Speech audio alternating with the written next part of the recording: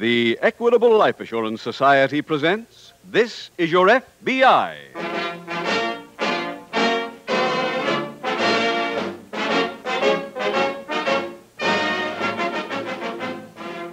This is Your FBI, the official broadcast from the files of the Federal Bureau of Investigation. Presented transcribed as a public service by the Equitable Life Assurance Society of the United States and the Equitable Society's representative in your community.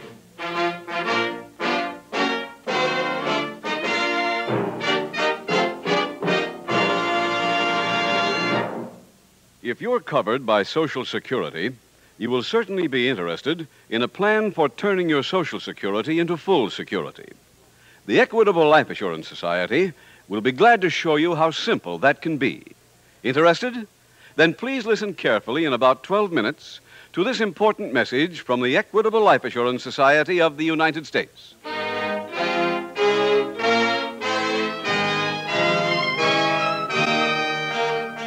Tonight, the subject of our FBI file Subversive Activities. Its title The Un American Patriot.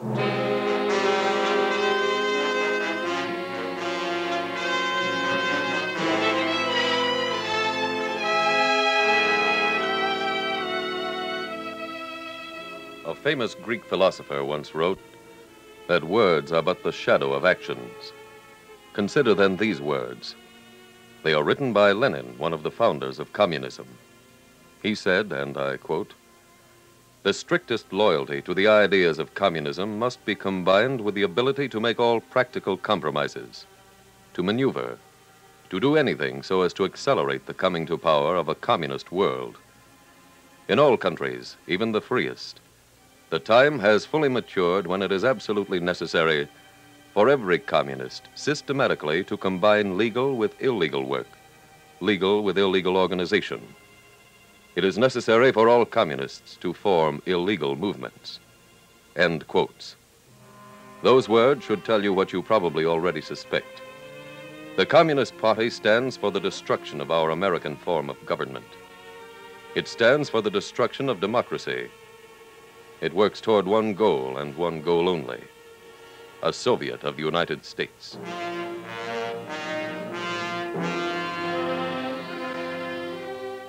Tonight's file opens during June of 1948 on the campus of an Eastern college.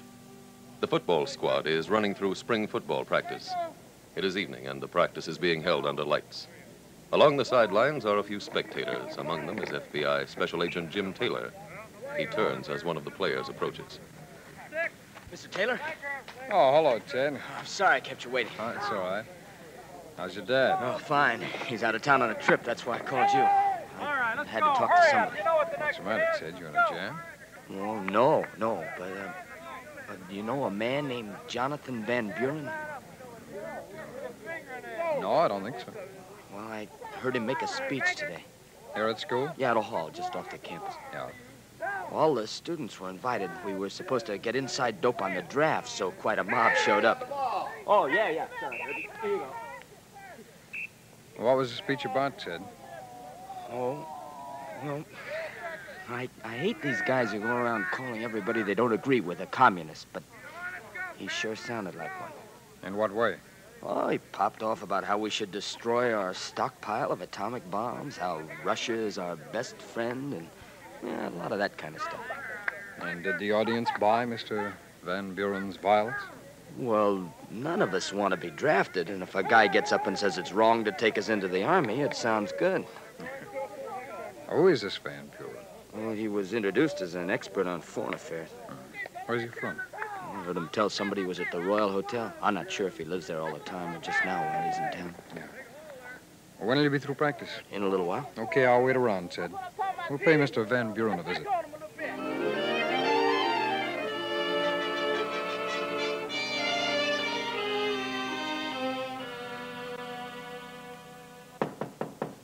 Come in, boy.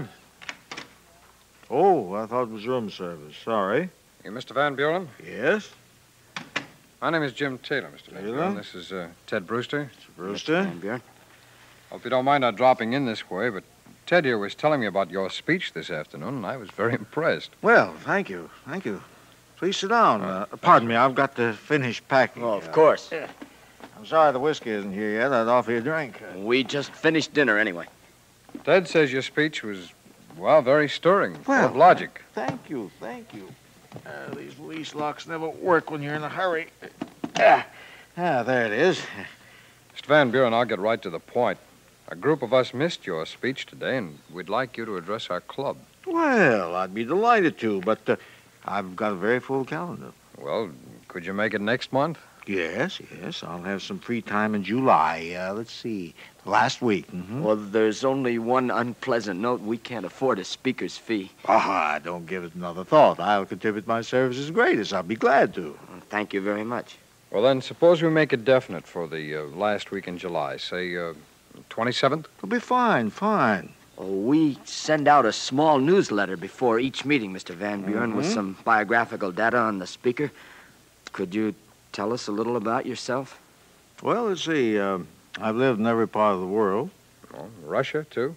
hmm Spent an entire year there, right after the war. Must have been interesting. Very. Uh, maybe we'd better not mention that in your notes, though. Uh, enough people think I'm a Russian apologist now, and that's uh, unpopular these days. Well, Mr. Van Buren, could we get a little more of biographical material? Well, I'm an American. Put that down. My family's been here since the Revolution. Ours, not the Russians. Hey, come, come in. Oh, I, I'm sorry. I didn't know you had guests. I'll come back later. No, please, we're leaving now. Oh, must you? Yeah, we've got some studying to do. And thanks for accepting our invitation, Mr. Van Buren. Oh, you're very welcome. Good night. Good night, sir. See you next month. I hope I'm not breaking in. No, no, not at all. We're really about to leave. Well, uh, good night again. Good night, sir. What do you think, Mr. Tanner? It's worth looking into. You're going to investigate him? Well, that's not up to me, Ted. I'm going back to the office, though, and write a report on Van Buren. This late? Yeah. I want my boss to see it first thing tomorrow morning.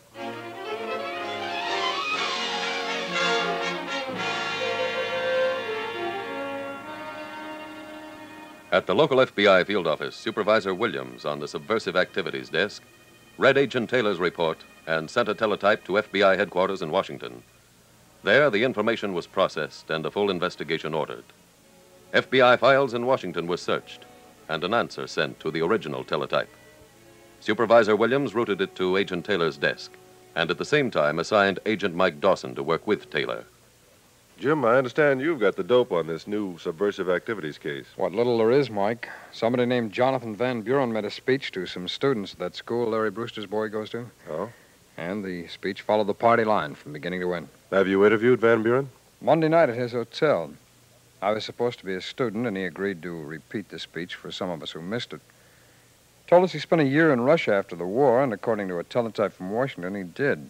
He omitted, however, that he was there as a guest of the Russian government. Convenient memory. Yeah. Well, since he came back to the United States, he's been lecturing and writing on foreign policy. With the Russians footing the bill? Well, if they are, Mike, it's off the record. He's not registered with the government as a Russian agent, but the other night, as Ted and I were leaving his room, he had a very interesting visitor, Oh, who? Gregory Matagorda. Well, Yeah, from what I hear, Matagorda's been moved into the number one spot at party headquarters. any idea why he was there? No. What else have you got?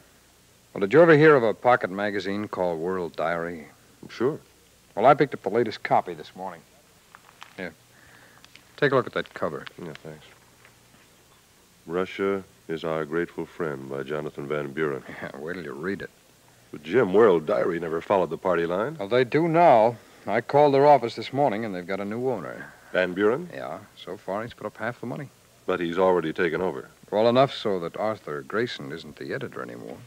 Grayson's a good man. He sounded like it. Oh, you've already spoken to him. On the phone. I've got an appointment to see him in half an hour.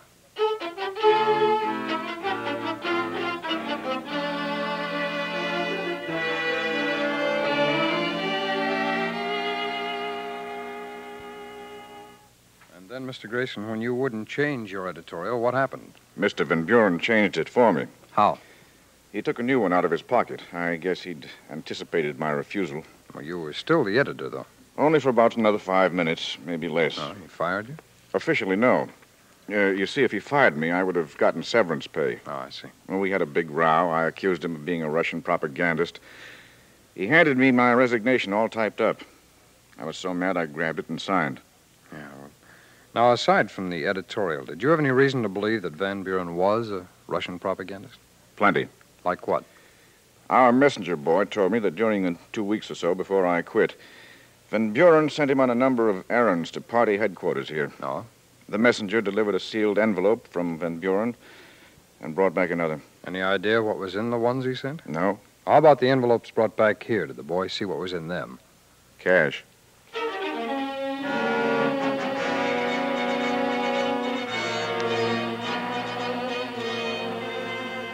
Now there was evidence. But Jonathan Van Buren might still find loopholes through which to escape if an arrest under the Federal Registration Act had been made. Your FBI's job was to plug those loopholes. Van Buren was put under 24 hour a day surveillance. On every trip, he was met at the airport and escorted during his stay. A file was slowly being built, but no real new evidence was gathered until July 4th. On that day, Special Agents Taylor and Dawson followed Van Buren to a local outdoor amphitheater where a visiting speaker was to read Lincoln's Gettysburg Address as part of the general patriotic program. Plenty of empty seats down further, Jim. Wonder why he's sitting that far back. Could be he's meeting somebody. Maybe. Mike, he doesn't know you. Why don't you turn on your portable transmitter and go up there, huh? Okay. If you sit in back of him, you should be able to catch everything he says. Yeah, where are you going? I'll stay here. I don't want him to spot me. I'll keep in touch with you, though, till you sit down.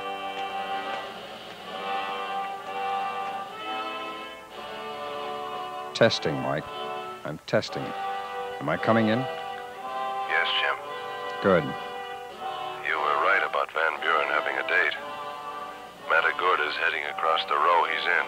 Well, that ought to be interesting. I'll keep this open so you can listen. Over now. I'm near my seat.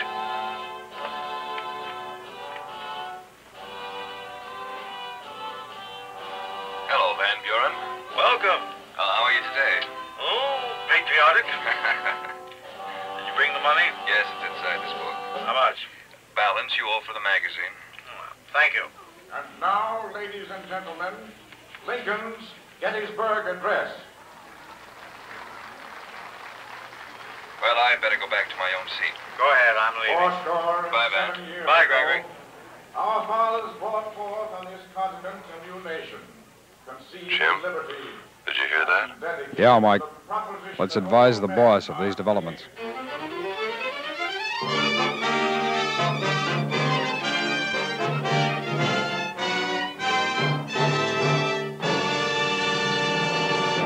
In just a few minutes, we'll bring you the conclusion to tonight's case from the official files of the FBI.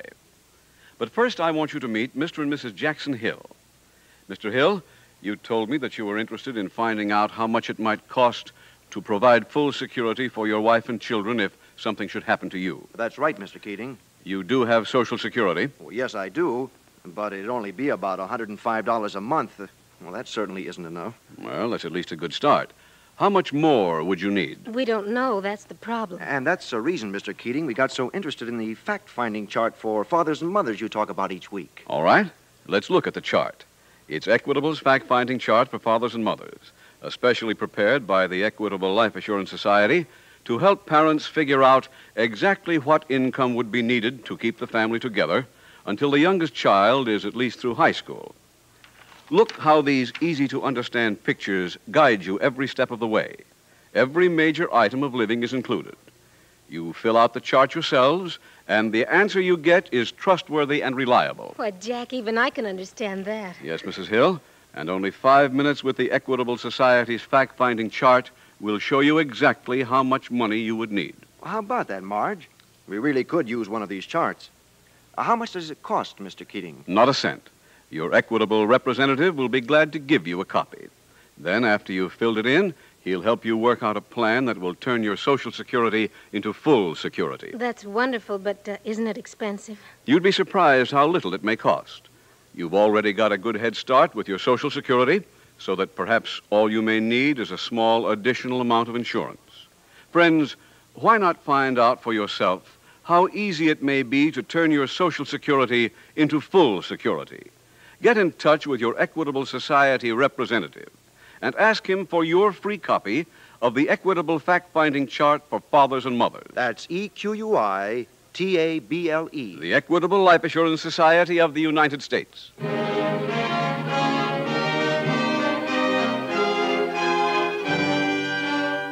And now back to the FBI file The Un American Patriot.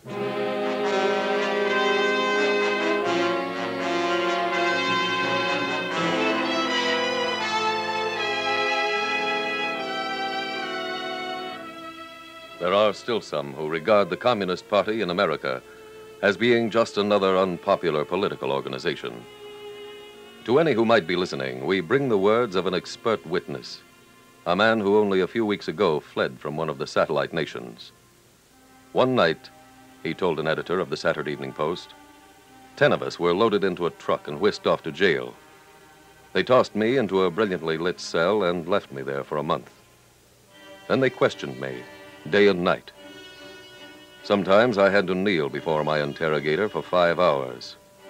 I was beaten and kicked by a squad of four. Between sessions, they kept me standing in a dark disciplinary cell. After two weeks, they returned me to what they called re education. Apparently, I wasn't right, but they assured me the cycle would be repeated every couple of months. They also told me that the last of us would crack before they finished. The man who spoke those words did not dare speak them until he was out of his own country. Five years ago, he would have left if anyone had told him his nation would be taken over by the communists. But it happened there. And even more to the point, unless we in the United States maintain a constant vigilance, it can happen here.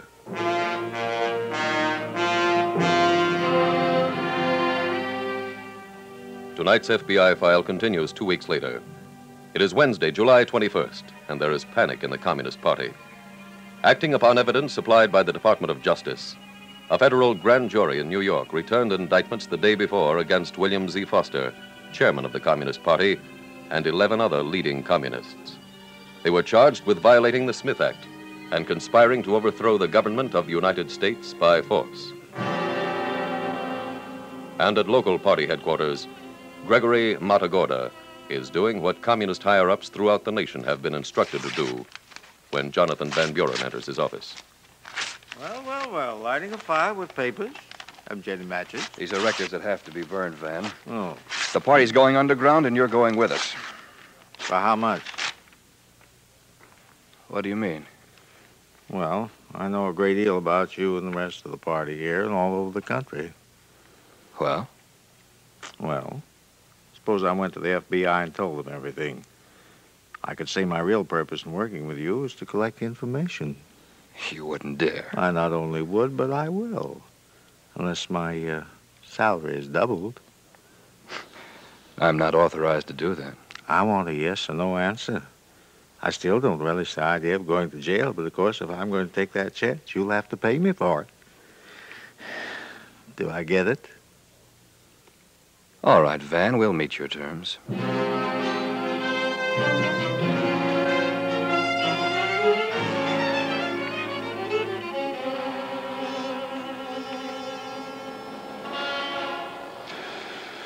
to Dawson.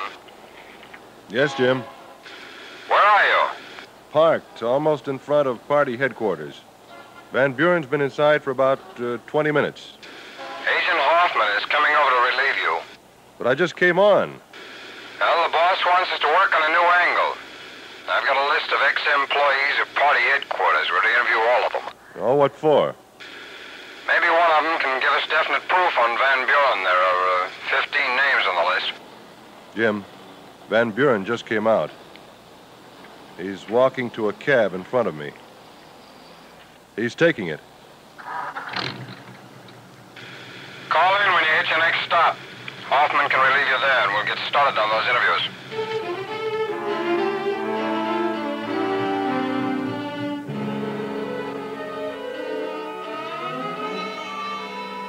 One of the foundations of every investigation is interviewing.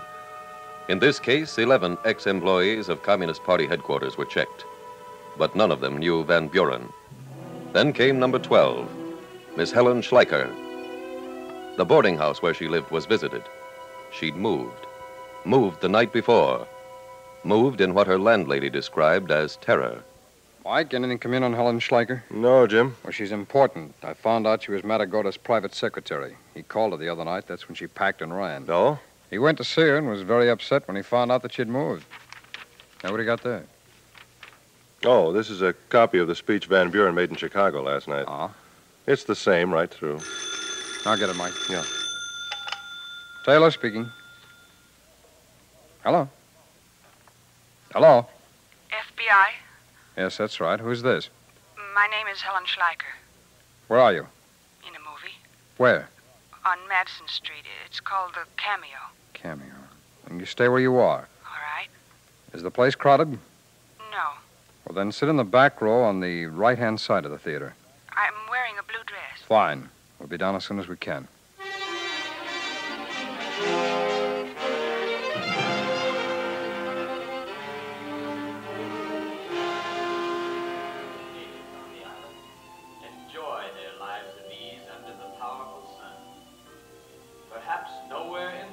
Miss Schleicher?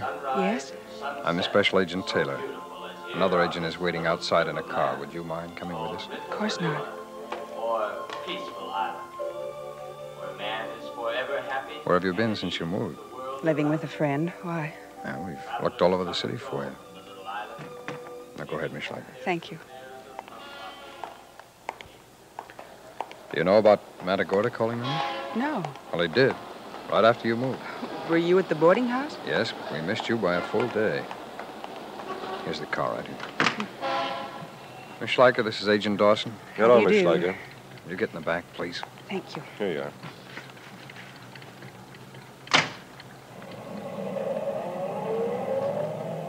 I feel better now. Did you think you were in danger? Oh, I don't know, but well, I've seen what happens to people who know things when they try to leave the party. Have you? The day I quit working at headquarters. I took my job there because I thought they were trying to help people fight for peace. I found out they're liars, that's why I quit. I'm a Russian, but first I'm an American. In your work at party headquarters, did you run across a man named Jonathan Van Buren? Of course, he works for the party. Are you sure? Positive. Well, we're trying to find proof of that. Well, I'm telling you. We need more. Is there anything in writing? Well, lists of paid communist agents. I used to type them myself. Mr. Van Buren's name was on them. Well, those files have probably been destroyed. About that, I don't know, but. Wait, I have carbon papers. Carbon copies? No, the carbon papers I used when I made the lists. We used carbons only once, and then I was allowed to take them home for my own work. Oh, and where are they? In my trunk at the Broadway warehouse. Mike, head for that warehouse.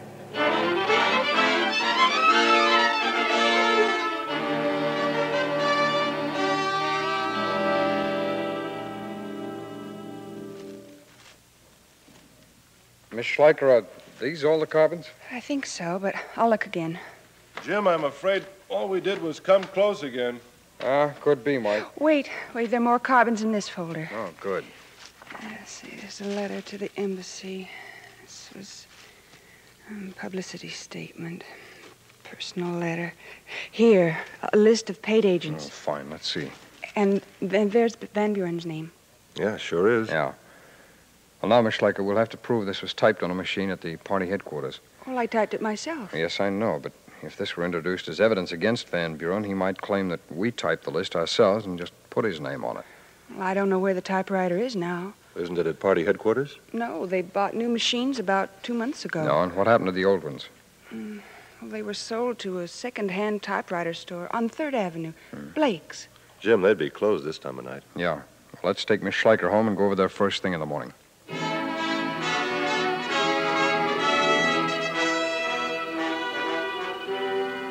Now there began a search for the missing typewriter. A search that started the following morning when Agent Taylor made his report. Mike, that second-hand store went out of business. The former owner was located. He said he sold his stock to other men in the same business. Other men spread through the entire city. Jim, the typewriter was bought by the Acme Typewriter Company.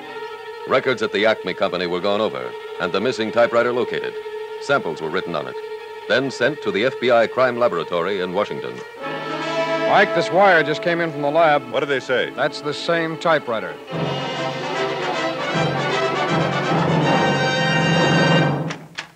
Oh, hello there, Mr. Brewster. Hello, Mr. Van Buren. And Mr. Um... Taylor. Oh, of course. Yeah, forgive me. I've uh, been meaning to get in touch with you two. About our date? Yes, I'm. Uh, I'm afraid I won't be able to make that speech. Uh, You may not be making any speeches for a while. but uh, what do you mean? I don't. Uh... Miss Schleicher, Yes? this the man? Yes. Well, who's she? You ought to know. She was the private secretary of a friend of yours, Gregory Matagorda, at party headquarters. What's the meaning of all this? I, Mr. uh, Taylor is a special agent of the FBI. Here are my credentials.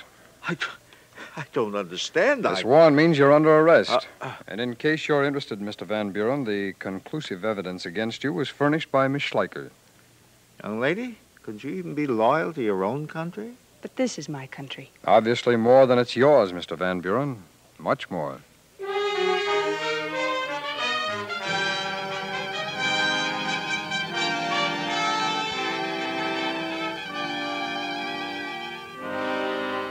Jonathan Van Buren was convicted in federal court for violation of the federal registration statute and sentenced to a federal prison. In the years before World War II, your FBI was criticized by certain factions on the premise that nothing was being done to meet the Nazi fascist threat to our internal security. What was being done could not be publicized, but the record speaks for itself. During the war, there was not one successful enemy directed act of sabotage. Your FBI cannot at this time make public its full record on what is being done to combat the communist menace in this country. The Federal Bureau of Investigation is, by presidential directive, charged with protecting you in matters concerning espionage, sabotage, and subversive activities. You may rest assured of one thing your FBI is doing that job, doing it 24 hours a day.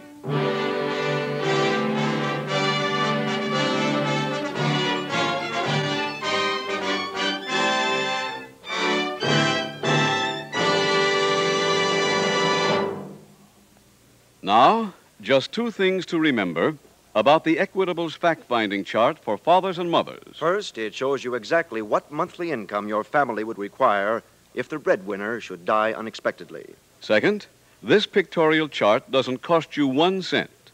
Ask your Equitable Society representative for a free copy or send a postcard care of this station to the Equitable Life Assurance Society of the United States.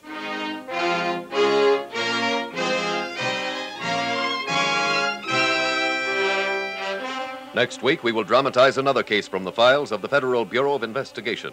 Its subject, armed robbery. Its title, Crime for Sale.